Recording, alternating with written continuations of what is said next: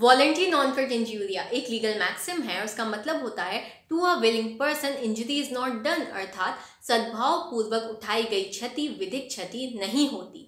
अगर कोई व्यक्ति कोई रॉन्गफुल एक्ट करता है, जिसकी वजह से कोई दूसरा व्यक्ति सफ़र करता है तो वो व्यक्ति जिसने सफ़र किया है, वो डैमेजेस क्लेम करने के लिए लाइबल होता है। लेकिन कभी कभी वो व्यक्ति जिसने सफ़र किया है, वो डैमेजेस क्लेम नहीं कर सकता, क्योंकि डिफेंडेंट के पास वॉलेंट्री नॉन फिट इंजूरिया का डिफेंस अवेलेबल होता है। समझते हैं इसको एक इलस्ट्रेशन से।